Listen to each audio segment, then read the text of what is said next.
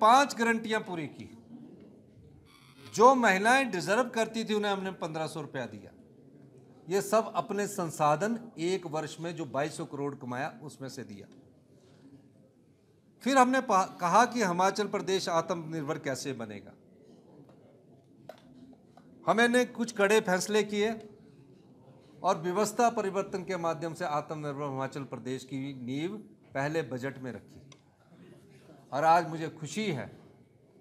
जहाँ हमने इस आर्थिक संकट को काबू किया है, अब आर्थिक संकट को नियंत्रण करने के लिए फ़िज़िकल डिसिप्लिन और फ़िज़िकल प्रूडेंस के माध्यम से हम आगे बढ़ रहे हैं। सरकारी कर्मचारी हमारे परिवार के सदस्य है। मैं खुद सरकारी कर्मचारी के परिवार से आता हूँ। लेकिन सरकारी कर्मचारियों को जो हम एक तारीख को पेंशन देते थे और सैलरी देते थे, हर महीने हम सरकारी कर्मचारियों को सैलरी के रूप में 1200 करोड़ रुपया, और जो पेंशनधारी हमारे बुज़ुर्ग है, उनको 800 करोड़ रुपया हम हर महीने की पहली तारीख को देते थे। यानी 2000 करोड़ रुपया हर महीने हम कर्मचारियों के और अधिकारियों की सैलरी और पेंशन के लिए खर्च करते हैं।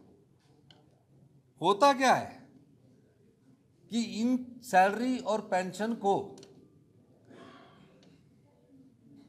देने के लिए हम बाज़ार से साढ़े सात प्रतिशत पर ऋण उठाते हैं। यानी कि दो हज़ार करोड़ रुपए मेरा, हम साढ़े सात प्रतिशत पर ऋण उठाते हैं। क्योंकि जो हमारी ट्रेजरी होती है, उस ट्रेजरी में कई खर्चे निकलते रहते हैं 2000 करोड़ पहली तारीख तक नहीं होता। और जो हम रिज़र्व बैंक ऑफ़ इंडिया से जब हम सैलरी और पेंशन देने के लिए लोन लेते हैं तो उस पर साढ़े सात प्रतिशत ब्याज देना पड़ता है।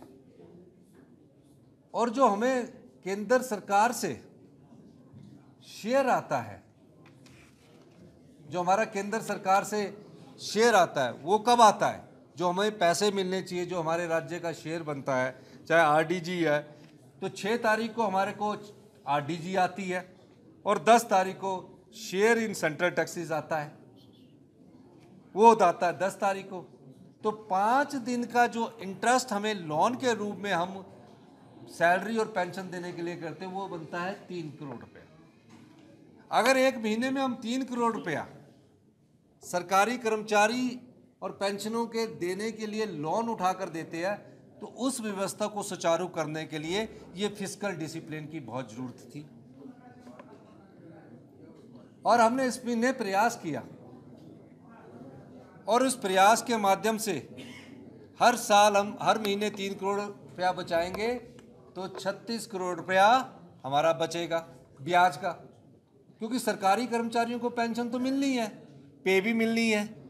तो वो 36 करोड़ रुपया हम सरकार की किसी कल्याणकारी योजनाओं में लगा रहे हैं। जैसे कि हम विधवाओं के बच्चों के लिए शिक्षा को मुफ़्त करके योजना लाए हैं। ऐसी कई कल्याणकारी योजनाएँ। अब उस व्यवस्था को सुचारू रूप करने के लिए हमें एक महीने ये कष्ट उठाना पड़ रहा था। और हमने इसके लिए कहा कि जो सरकारी कर्मचारी तो विभाग है, लेकिन जो बोर्ड है मैं ये भी बताना चाहूँगा कि जो बोर्ड होते हैं,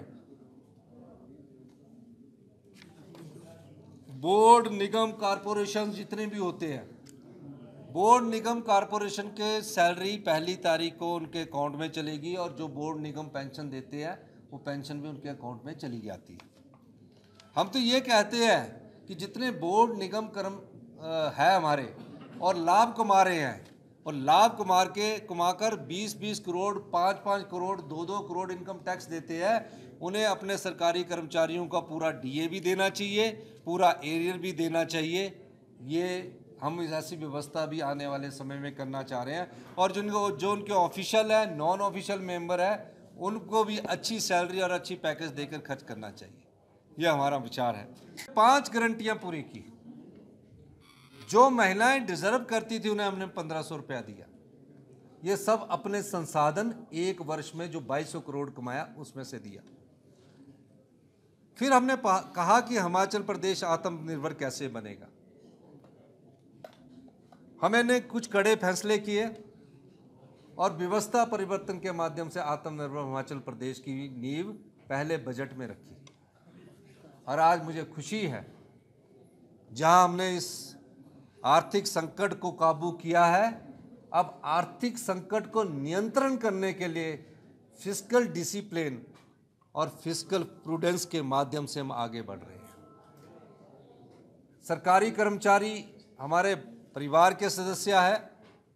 मैं खुद सरकारी कर्मचारी के परिवार से आता हूँ। लेकिन सरकारी कर्मचारियों को जो हम एक तारीख को पेंशन देते थे और सैलरी देते थे। हर महीने हम सरकारी कर्मचारियों को सैलरी के रूप में 1200 करोड़ रुपया। और जो पेंशनधारी हमारे बुज़ुर्ग हैं, उनको 800 करोड़ रुपया हम हर महीने की पहली तारीख को देते थे। यानी 2000 करोड़ रुपया हर महीने हम कर्मचारियों के और अधिकारियों की सैलरी और पेंशन के लिए खर्च करते होता क्या है? कि इन सैलरी और पेंशन को देने के लिए हम बाज़ार से साढ़े सात प्रतिशत पर ऋण उठाते हैं। यानी कि दो हज़ार करोड़ रुपए मेरा हम साढ़े सात प्रतिशत पर ऋण उठाते हैं। क्योंकि जो हमारी ट्रेजरी होती है, उस ट्रेजरी में कई खर्चे निकलते रहते हैं। दो हज़ार करोड़ पहली तारीख तक नहीं होता। और जो हम रिज़र्व बैंक ऑफ़ इंडिया से जब हम सैलरी और पेंशन देने के लिए लोन लेते हैं तो उस पर साढ़े सात प्रतिशत ब्याज देना पड़ता है। और जो हमें केंद्र सरकार से शेयर आता है, जो हमारा केंद्र सरकार से शेयर आता है, वो कब आता है? जो हमें पैसे मिलने चाहिए, जो हमारे राज्य का शेयर बनता है, चाहे आरडीजी है तो छः तारीख को हमारे को आरडीजी आती है और दस तारीख को शेयर इन सेंट्रल टैक्सेस आता है। वो आता है दस तारीख को। तो पाँच दिन का जो इंटरेस्ट हमें लोन के रूप में हम सैलरी और पेंशन देने के लिए करते हैं, वो बनता है तीन करोड़ रुपया। अगर एक महीने में हम तीन करोड़ रुपया सरकारी कर्मचारी और पेंशनों के देने के लिए लोन उठाकर देते हैं तो उस व्यवस्था को सुचारू करने के लिए ये फ़िज़िकल डिसिप्लिन की बहुत ज़रूरत थी। और हमने इसमें ने प्रयास किया। और उस प्रयास के माध्यम से हर साल हम, हर महीने तीन करोड़ रुपया बचाएँगे तो छत्तीस करोड़ रुपया हमारा बचेगा, ब्याज का। क्योंकि सरकारी कर्मचारियों को पेंशन तो मिलनी है, पे भी मिलनी है। तो वो छत्तीस करोड़ रुपया हम सरकार की किसी कल्याणकारी योजनाओं में लगा रहे हैं। जैसे कि हम विधवाओं के बच्चों के लिए शिक्षा को मुफ़्त करके योजना लाए हैं। ऐसी कई कल्याणकारी योजनाएँ अब उस व्यवस्था को सुचारू रूप करने के लिए हमें एक महीने ये कष्ट उठाना पड़ रहा था। और हमने इसके लिए कहा कि जो सरकारी कर्मचारी तो विभाग है, लेकिन जो बोर्ड है, मैं ये भी बताना चाहूँगा कि जो बोर्ड होते हैं बोर्ड निगम कारपोरेशन जितने भी होते हैं, बोर्ड निगम कारपोरेशन के सैलरी पहली तारीख को उनके अकाउंट में चलेगी और जो बोर्ड निगम पेंशन देते हैं, वो पेंशन भी उनके अकाउंट में चली जाती है। हम तो ये कहते हैं कि जितने बोर्ड निगम कर्म है हमारे और लाभ कमा रहे हैं, और लाभ कमा के कमाकर 20-20 करोड़ 5-5 करोड़ 2-2 करोड़ इनकम टैक्स देते हैं उन्हें अपने सरकारी कर्मचारियों का पूरा डीए भी देना चाहिए, पूरा एरियर भी देना चाहिए। ये हम ऐसी व्यवस्था भी आने वाले समय में करना चाह रहे हैं। और जिनको, जो उनके ऑफिशियल है नॉन ऑफिशियल मेंबर है, उनको भी अच्छी सैलरी और अच्छी पैकेज देकर खर्च करना चाहिए। ये हमारा विचार है। देखो, कल उनकी सैलरी रिलीज़ हो जाएगी, जो हमारे सरकारी कर्मचारी अधिकारी हैं। मैंने आपको कहा कि हम पाँच दिन का लोन लेके तीन करोड़ ब्याज हम आरबीआई को क्यों दें? ये फ़िज़िकल डिसिप्लिन में आया है। तो इसलिए वो जो सरकारी विभाग है, उनकी सैलरी रुकी है। बोर्ड कॉरपोरेशन के सभी विभागों की सैलरी एक तारीख को मिल चुकी है और जो पेंशन है वो उनको दस तारीख की मिलेगी। और अगले महीने से हम प्रयास करेंगे, क्योंकि सरकारी कर्मचारियों की ईएमआई होती है, बच्चों की फ़ीस होती है, इस चीज़ को ध्यान में रखते हुए कि हमारी जो ट्रेजरी है वो खाली ना हो और अगले महीने उनको पहले से ही सैलरी मिलने का प्रबंध किया जाएगा। ये हम कोशिश करेंगे। अगले अगले महीने से हम इसमें थोड़ा सा और सुधार करके पहली तारीख से सैलरी देने की प्रयास उसमें हम करेंगे। क्योंकि हमारे जो सरकारी कर्मचारी है, अधिकारी है, उन्होंने ईएमआई की विवश किश्तें देनी होती है तो मैं इसमें भी गंभीरता से विचार करूँगा। लेकिन सैलरी के लिए और पेंशन के लिए लोन उठाकर तीन करोड़ दिया जाए, उसमें भी थोड़े सुधार की ज़रूरत है। हम उस दृष्टि से भी इसको काम करेंगे। अब ये सवाल पैदा होता है कि जो भारतीय जनता पार्टी या सरकारी कर्मचारियों और अधिकारियों की बड़ी खैर ख्वाह बनी हुई है, उस भारतीय जनता पार्टी से ये पूछा जाना चाहिए था, क्या यह सत्य नहीं है कि आपने प्रदेश के खजाने को लुटाया है? क्या यह सत्य नहीं है कि आपने बिजली के बिजली को फ्री कर दिया। और क्या यह सत्य नहीं है कि Taj hotel wild flower hotel और जो करोड़ों रुपया टैक्स देते हैं थ्री स्टार होटल, उनको एक रुपया प्रति यूनिट बिजली की सब्सिडी दी है। इससे क्या हुआ? 2200 करोड़ रुपया हमें बिजली बोर्ड का देने के लिए हो गया। क्योंकि हमने एश्योरेंस दी कि हम सरकार 2200 करोड़ रुपया देगी चुनावों से पहले। और 2200 करोड़ रुपया हमें बिजली बोर्ड को देना अगर हम 2200 करोड़ बिजली बोर्ड को नहीं देंगे तो उनकी सैलरी और पेंशन पर भी संशय खड़ा हो जाएगा। हमने पहली सितंबर से फैसला किया कि जितने भी होटल है, जो इनकम टैक्स भी देते हैं, उनकी बिजली की एक रुपये की सब्सिडी को विड्रॉ कर लिया है। इससे हमारे राजस्व में 200 करोड़ रुपया आएगा। अभी एक पार्ट किया है। बिजली में चार पार्ट में सब्सिडी को हम कम करने जा रहे हैं। दूसरा, इंडस्ट्रीज़ की बिजली को अभी हमने नहीं छुआ है। डोमेस्टिक के जो 125 यूनिट अभी हमने छुआ पूरी तरह स्टडी करने के बाद, प्रूडेंटली सोचने के बाद हम आगे बढ़ेंगे। तीसरा, पानी माफ़ कर दिया गया। मतलब ताज वाला भी पानी का कोई बिल नहीं देगा। आपका वाइल्ड फ्लावर हॉल का भी कोई बिल नहीं देगा। आपके जितने होटल है, उनका कोई बिल नहीं आएगा। ये सब कब किए गए? क्या ये सत्य नहीं है? ये सब चुनावों से पहले किए गए। फिर हमारी बहनें थी। अगर हमारी बहनें सरकारी कर्मचारी है और बस में अपना बिल देना चाहती इन्होंने कहा पचास परसेंट महिलाओं को भी बस किराए में छूट दे दी गई। फिर क्या किया? तीन रुपये बैठ के डीजल सस्ता करने के लिए इन्होंने वो भी माफ़ कर दिए।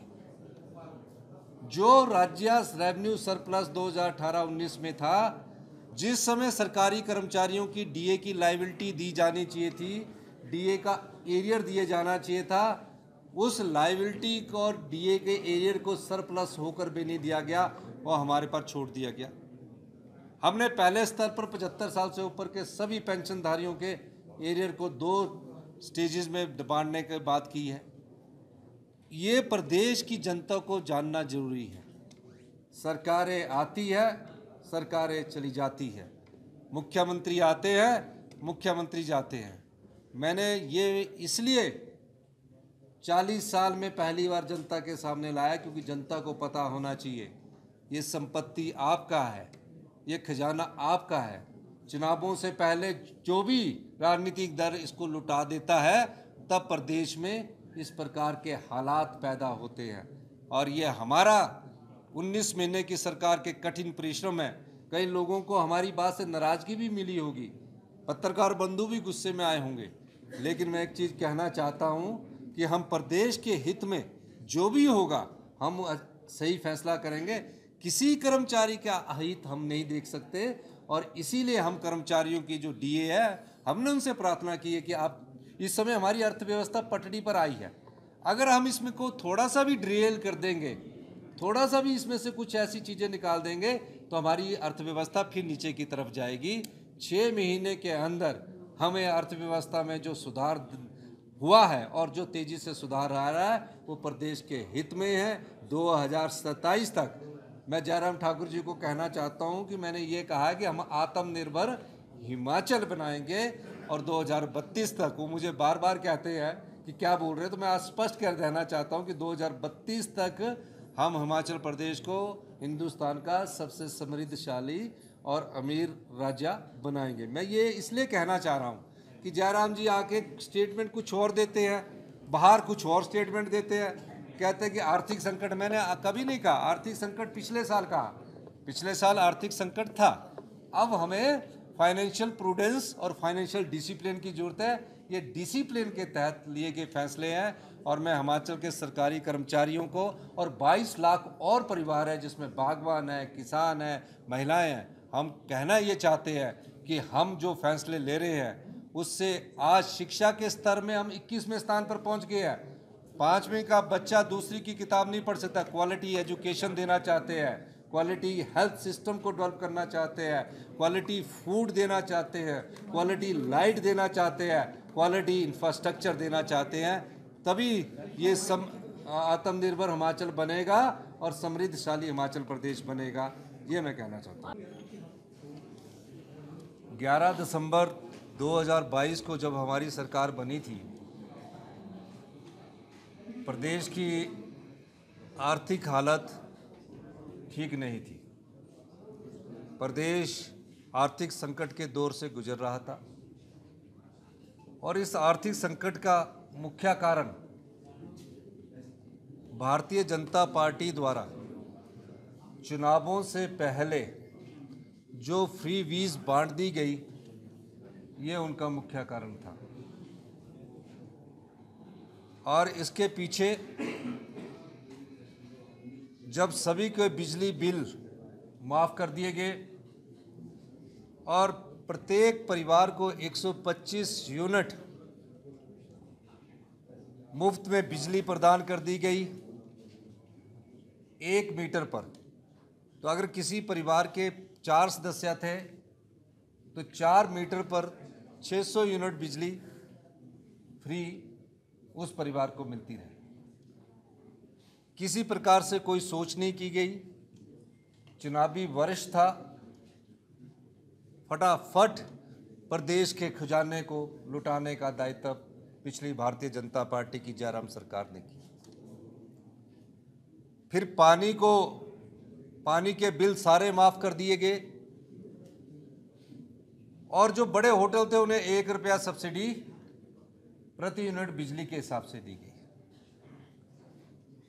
चुनाव को सिर्फ़ चार महीने रह गए तो 600 संस्थान खोल दिए गए। जो संस्थान चले थे, वहाँ से कर्मचारियों और अधिकारियों को ट्रांसफ़र करके उनको संस्थान को चलाने की कोशिश की जैस, इन सब के बांटने के बाद भी हिमाचल प्रदेश की जनता ने मुफ़्त पानी लेने के बावजूद भी, मुफ़्त बिजली लेने के बावजूद भी और 50 परसेंट महिलाओं को बस किराए में छूट देने के बावजूद भी भारतीय जनता पार्टी को सत्ता में नहीं आने दिया।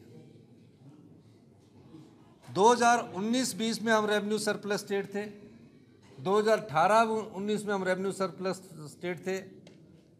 चुनावों से पहले भारतीय जनता पार्टी द्वारा जो फ्री वीज बांटी गई, उससे प्रदेश के खजाने को बहुत नुकसान हुआ।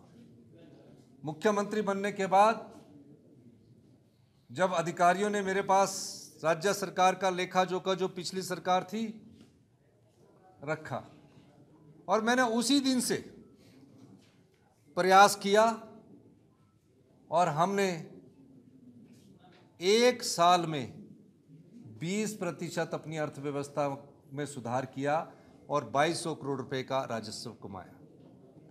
राजस्व का एक मैं उदाहरण देना चाहता हूँ। पिछले पाँच साल से शराब के ठेकों को ऑक्शन नहीं की जाती थी। और जब ऑक्शन नहीं की जाती थी, उसको 10 परसेंट के हिसाब से रिन्यू कर दिया जाता था। यानी कि 1500 करोड़ रुपए अगर साल में पूरे हिमाचल प्रदेश से आने होते थे तो 10 परसेंट पर 150 करोड़ पर रिन्यू करके उन्हीं ठेकेदारों को दे दिया जाता था। मैंने सबसे पहला फैसला एक्साइज एंड टैक्सेशन के आधार को देखते हुए ऑक्शन किया। और पहले ही साल हिमाचल प्रदेश सरकार को चार सौ पचासी करोड़ रुपए का राजस्व अर्जित हुआ। भारतीय जनता पार्टी के पाँच साल में, पाँच साल में छः करोड़ रुपए का ही राजस्व आया। और उसके बाद डीजल पर इन्होंने वैट कम कर दिया था। जब हमने डीजल पर बैट को वापस उस जगह पर लाया, उस समय उन्होंने कहा, डीजल पर जब बैट वापिस आया, उस समय उन्होंने कहा, उस समय के पेट्रोलियम मिनिस्टर जो थे केंद्र के, उन्होंने कहा कि सरकार ने बैट बढ़ा दिया। हमने अर्थव्यवस्था को मज़बूत करने के लिए बैट बढ़ाया। मेरे ख्याल उस समय पेट्रोलियम मिनिस्टर जो थे, हरदीप हरदीप पुरी जी थे। और हमने तीन रुपए डीजल के बढ़ाए। इस तरह कई और हमने व्यवस्था परिवर्तन किया और 2200 करोड़ रुपए का राजस्व कमाया। और फिर हमने अपने सरकारी कर्मचारी और अधिकारियों को जो हमने राजस्व बढ़ाया था, जो हमने सुधार कदम उठाए थे, उसमें हमने पहली ही कैबिनेट में सरकारी कर्मचारियों को ओल्ड पेंशन स्कीम दी। हमने उसमें व्यवस्था की बजट की, क्योंकि जो पैसा जनता का लुटा दिया जाता था, उसके माध्यम से जो हमने शराब के माध्यम से साढ़े चार सौ करोड़ कमाया, वो हमने ओल्ड पेंशन स्कीम के तहत उन कर्मचारियों की रिटायरमेंट के लिए लगाया, जो बेचारे आज रिटायर होकर, जिनको दस हज़ार रुपये पेंशन मिलनी थी, आज वो पच्चीस और पचास हज़ार रुपये पेंशन प्राप्त कर रहे हैं। करो। बंद करो बंद करो। तनख्वाह और पेंशन का प्रबंध करो। बंद करो प्रबंध करो। तनख्वाह और पेंशन का प्रबंध करो। बंद करो प्रबंध करो। सुखो भाई सुखो भाई। दस गारंटियाँ कितने भाई सुखो भाई सुखो भाई। दस गारंटियाँ कितने भाई सुखो भाई सुखो भाई। दस गारंटियाँ कितने भाई हाउस को पूरा करना बंद करो। गारंटियाँ कितने पाई। सर विपक्ष आर्थिक संकट की बात कर रहा है। मुख्यमंत्री कह रहे हैं आर्थिक संकट नहीं है। फाइनेंशियल डिसिप्लिन लाने के लिए कदम सरकार उठा रही है पूरा देश जो है वो हिमाचल प्रदेश की आर्थिक स्थिति को देख करके चिंतित है और हम सब लोग भी उसमें शामिल हैं। मैं हैरान हो रहा हूँ मुख्यमंत्री के बार बार इस, इस तरह के वक्तव्य से। सुबह कहते हैं कि प्रदेश बहुत गंभीर आर्थिक संकट के दौर में से गुजर रहा है। और शाम को कहते हैं कि आर्थिक संकट है नहीं, हम हम जो है हिमाचल प्रदेश में फाइनेंशियल डिसिप्लिन की बात कर रहे हैं। लेकिन आज मैंने ऑन पॉइंट ऑफ़ ऑर्डर जब अध्यक्ष माध्यम, अध्यक्ष महोदय जी से पूछा कि हमने सतासठ, नियम सतासठ के अंतर्गत स्थगन प्रस्ताव दिया था विधानसभा के अंदर क्योंकि कर्मचारियों को सैलरी नहीं मिली। कर्मचारियों के अलावा पेंशनर्स को पेंशन नहीं मिली। आज सितंबर की चार तारीख बीत गई है। इस पर मुख्यमंत्री जवाब देने के लिए खड़े हुए पहले कहने लगे, मैं जवाब देना चाह रहा हूँ और बाद में कह रहे हैं कि मैं स्टेटमेंट दे रहा हूँ। हैरानी इस बात को लेकर के है कि दो वर्ष का कार्यकाल हिमाचल प्रदेश में कांग्रेस पार्टी की सरकार का होने जा रहा है। अभी भी जो भी जहाँ इनकी विफलता होती है, नाकामयाबी होती है, वहाँ दोष पूर्व सरकार को दिया जाता है और केंद्र सरकार को दिया जाता है। हमारे समय में भी इस तरह से हालात बहुत ज़्यादा ऐसे नहीं थे कि आर्थिक दृष्टि से हिमाचल बहुत मज़बूत था, लेकिन फिर भी हमने उस जिम्मेवारी को समझा और उस जिम्मेवारी का निर्वहन किया। बतौर मुख्यमंत्री, बतौर फाइनेंस मिनिस्टर हमने समय पर सैलरी दी, समय पर पेंशन दी। और डीए की किस्तें जारी की। एरियर्स थे, वो पेंडिंग उसमें बहुत सारी राशि दी। पेंशन जो भोगी हैं, उनके बिल बहुत सारे पेंडिंग थे कर्मचारियों के। जो हॉस्पिटल के जो रिम्बर्समेंट के, वो भी पेमेंट की। लेकिन आज की तारीख में हम सिर्फ़ इतना ही जानना चाहते थे मुख्यमंत्री से कि आप तारीख तो तय कर दीजिए कि किस तारीख को, क्योंकि कर्मचारी रोज़ाना अपना, अपने मोबाइल पर मैसेज देख रहा है। पेंशनर, पेंशन, वो भी मोबाइल पर देख रहा है, मैसेज आया कि नहीं आया, पेंशन आई कि नहीं आई, सैलरी आई कि नहीं आई। तो उसके लिए तारीख निर्धारित कर दो।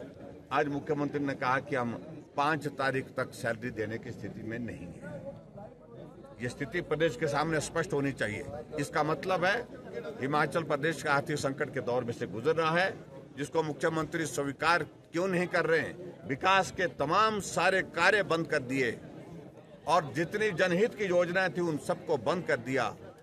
पेंशनर्स और कर्मचारियों को सैलरी और पेंशन देने के लिए आज की तारीख में इस प्रकार के जो हालात बने, निश्चित रूप से ये चिंता का विषय है, और पूरे देश भर में हिमाचल प्रदेश की आर्थिक स्थिति खराब है।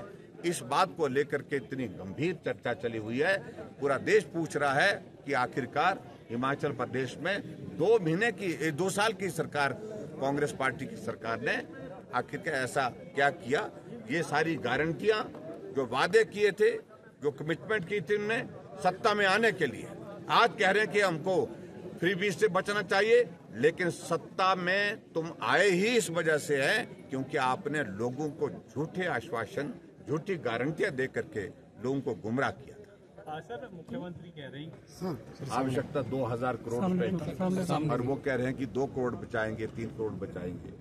ठीक है वो भी बचाएँ उसमें हमें कोई आपत्ति नहीं है वो उनको करना चाहिए। ये हमने भी की है इस ऐसी चीज़ें। और खासतौर से जो जो ब्याज की लाइबिलिटीज इस प्रकार की फाइनेंशियल लाइबिलिटीज इनको वो करने के लिए।